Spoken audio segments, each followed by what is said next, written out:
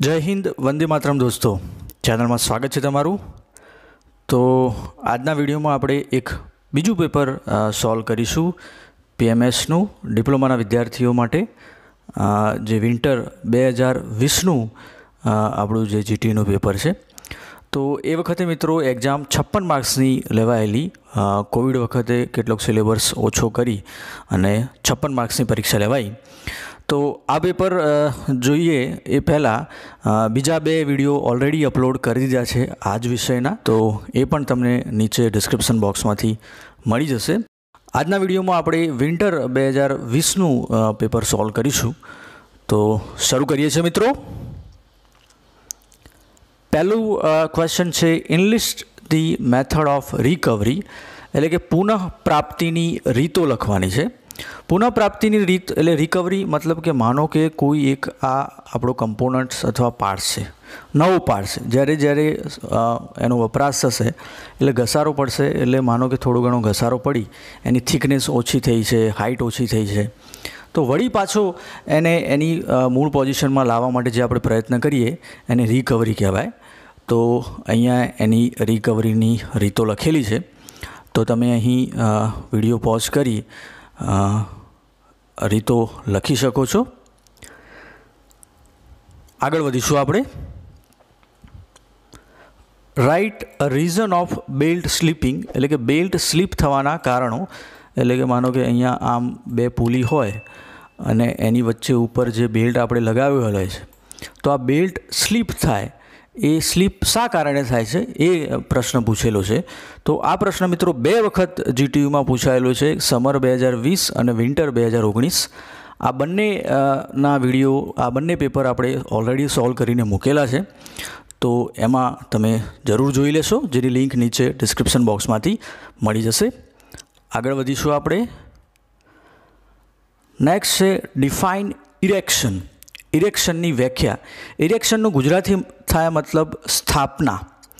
તો જ્યારે પણ આપણો માનો કે કોઈ મિકેનિકલ વર્કશોપ હોય અને એમાં કોઈ આપણે મશીન લાવ્યા છીએ, લેથ મશીન તો એ જે લેથ મશીન છે, એ લેથ મશીનને આપણે એના વર્કશોપમાં એને લગાવવું પડે. તો એક ફાઉન્ડેશન બનાવવું પડે, જેથી એના ઉપર આપણે મશીન ગોઠવી શકીએ. તો સિમેન્ટ રેતી, કપચીનું એક આપણે પ્રોપર ફાઉન્ડેશન બનાવીશું. એના નીચે જ્યાં જ્યાં બેઝ હોય એ લેથ મશીનમાં એના ઉપર નટ બોલ્ટ જ્યાં હોય ત્યાં આપણે ફિક્સ કરીશું.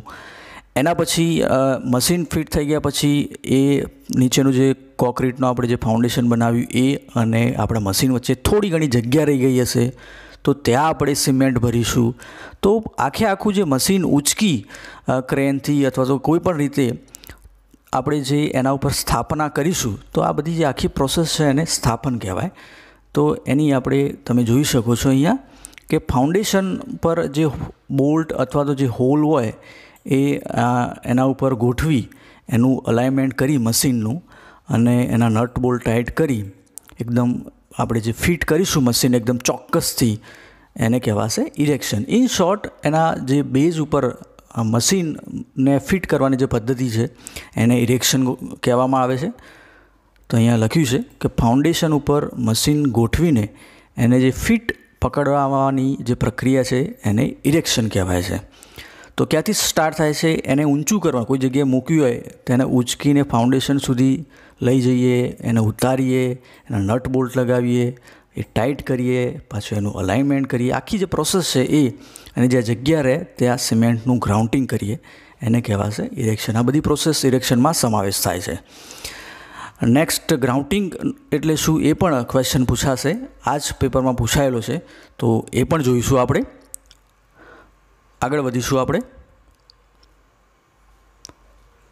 Give any four factor to be consider in periodic inspection એટલે પુનરાવર્તિત તપાસણી માટે જે મુદ્દાઓ ધ્યાનમાં લેવાય છે, એના ચાર મુદ્દાઓ તમારે અહીંયા લખવાના છે. તો અહીં તમે જોઈ શકો છો. પુનરાવર્તિત ઇન્સ્પેક્શન એટલે કે અઠવાડિયે પંદર દિવસે એક ચોક્કસ સમયગાળા પછી ઇન્સ્પેક્શન કરવું. તો એ કયા કયા મુદ્દાઓ ધ્યાનમાં લઈ એ પુનરાવર્તિત ઇન્સ્પેક્શન થાય છે એ અહીંયા લખેલા છે. એક્ઝામમાં ચાર જ લખવાના કીધેલા છે, પરંતુ અહીંયા દસ લખેલા છે. તમે ચોક્કસ દસે દસ લખી દેજો. વાંચજો. આમાંથી દસમાંથી તમને છ યાદ રહેશે. ચાર લખશો તો બે જ યાદ રહેશે. એટલે, ચોક્કસ બધા લખી દેજો નોટબુકમાં. પોઝ કરી. આગળ વધીશું. State any four types of fault in machine tool. Machine ટૂલમાં જે ખામીઓ આવે છે, એમાંની ચાર ખામીઓ તમારે લખવાની છે. તો અહીંયા ચાર ખામીઓ દર્શાવેલી છે. જોઈ શકો છો? તો આ પણ તમારી નોટબુકમાં લખી દેશો મિત્રો. આગળ વધીએ.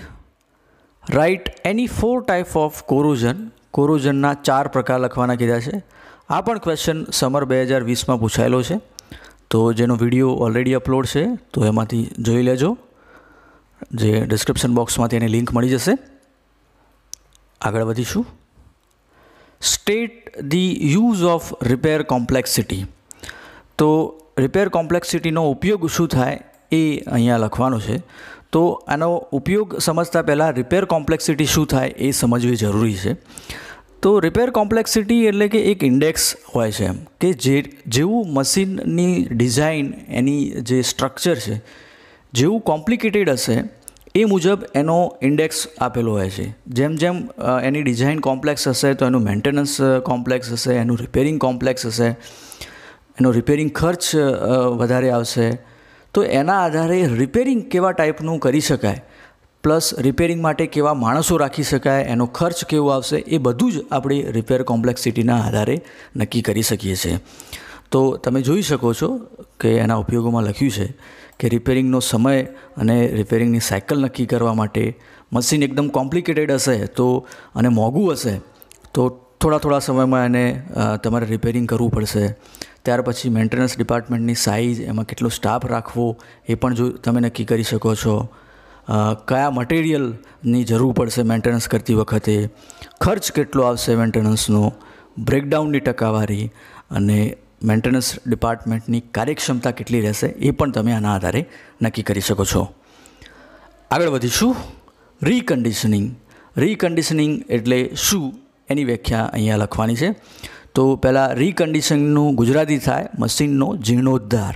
જીર્ણોદ્ધાર આપણે જે જૂના પ્લેસીસ હોય છે એનો કરતું હોય છે. મંદિરો કે એવી કોઈ જગ્યાનો જીર્ણોદ્ધાર થયેલો છે એમ, એવું તમે જોતા હશો.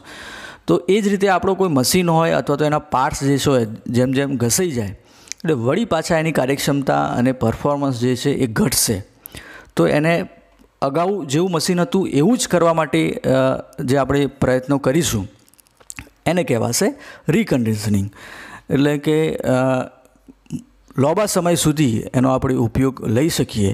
એ માટે જે કંઈ તમે રિપેરિંગ કરશો, તમારા પાર્ટ્સ ઉપર અથવા તો મશીનમાં એને કહેવાશે રિકન્ડિશનિંગ એટલે કે પહેલાં જેવું હતું, એવું કરવા માટે, એના માટે જે કંઈ રિપેરિંગ કામકાજ કરો છો મશીન ઉપર, એને કહેવાશે રિકન્ડિશનિંગ નેક્સ્ટ ક્વેશ્ચન છે વોટ ઇઝ ગ્રાઉન્ટિંગ તો અગાઉ આપણે જોયું એ મુજબ ગ્રાઉન્ટિંગ એટલે કે કોઈપણ મશીનનું આપણે જ્યારે ઇરેક્શન એટલે કે સ્થાપન કરતા હોય, આ આપણું મશીન છે.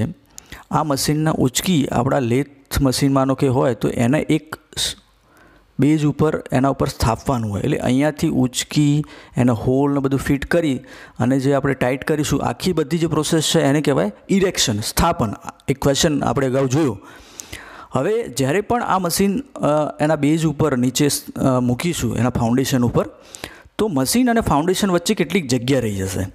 તો એ જગ્યામાં આપણે જે સિમેન્ટ અને બીજી જે પ્રોસેસ મૂકીએ અને બીજી જે વસ્તુઓ મૂકીએ, અને એ જગ્યા પૂરી રહેશું એને કહેવાય ગ્રાઉન્ડિંગ એટલે ઇન શોર્ટ આપણે પેકિંગ જે મૂકીએ છીએ, એને કહેવાય ગ્રાઉન્ડિંગ માનો કે આપણું એક નોર્મલ ટેબલ, ખુરશી હોય અને એક પાયો હલતો હોય, અને પેલું પેપર કે નાનો માર્બલનો ટુકડો, પથ્થરો મૂકીએ છે, તો એ જે જગ્યા પૂરી એને કહેવાય ગ્રાઉન્ડિંગ તો અહીં જોઈ શકો છો કે મશીનના બેઝ પ્લેટ અને ફાઉન્ડેશન વચ્ચે જે જગ્યા રહેશે, એમાં આપણે પ્રવાહી સિમેન્ટ ભરી અને મજબૂતાઈથી પકડીશું એને કહેવાશે ગ્રાઉન્ડિંગ.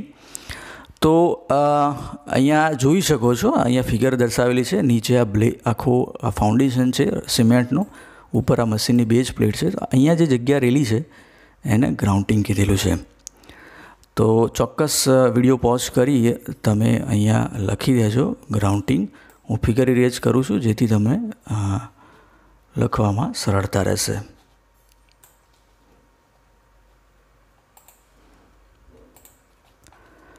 આગળ વધીશું આપણે.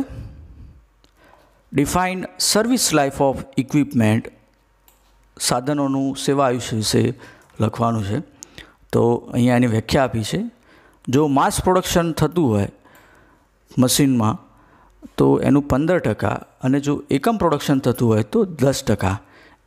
આટલા ટકા એની ઘસારાની કિંમત જે છે એ દર વર્ષે તમે બાદ કરો, મૂળ કિંમતમાંથી. માનો કે એક લાખનું મશીન લાવ્યા છો, તો એનો પંદર ટકા ઘસારો જો માસ પ્રોડક્શન થતું હોય અને જો એ જ મશીનનું એકમ પ્રોડક્શન થતું હોય, તો એનો દસ ટકા ઘસારો. આ ઘસારો એની મૂળ કિંમતમાંથી તમારે બાદ કરી પ્લસ નવા જે રિપેરિંગ કરતી વખતે કોઈ પાર્ટ્સ ઉમેર્યા હોય રિપેરિંગ કર્યું હોય, એ એમાં એડ કરવાનું. તો જે કંઈ કિંમત આવે, એ કિંમત વસૂલ કરવા માટે કેટલો સમય લાગશે, એને કહેવાશે સેવા મર્યાદા. તમે અહીંયા આ રીતનું લખી શકો છો. ઇન શોર્ટ બે રિપેરિંગ વચ્ચેનો સમયગાળો છે, એને સર્વિસ લાઈફ કહે છે. ફક્ત એક જ સ્ટેટમેન્ટમાં તમે વ્યાખ્યા ના લખતા એક્ઝામ વખતે, અહીંયા જે દર્શાવેલું છે, એ જરૂર લખજો. તો હોપ કે આ વીડિયો તમને ઉપયોગી નીવડશે. જય હિન્દ જય ભારત.